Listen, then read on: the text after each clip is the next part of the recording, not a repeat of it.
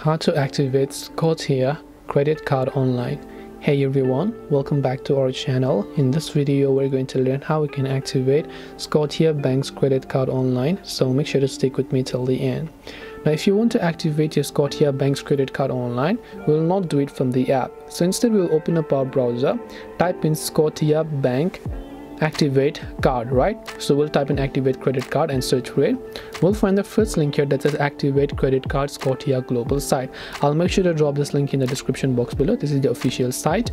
Once we come to this page which is activate.scotiabank.com then we're going to see a couple of these options. Now make sure to also log into your online banking. If you haven't already logged into your online banking then just tap on the yes option there. And once you sign in you'll be able to go ahead and activate it. Or you can actually call this particular number if you have a master credit card right? So 1-866-583-6289 to activate it.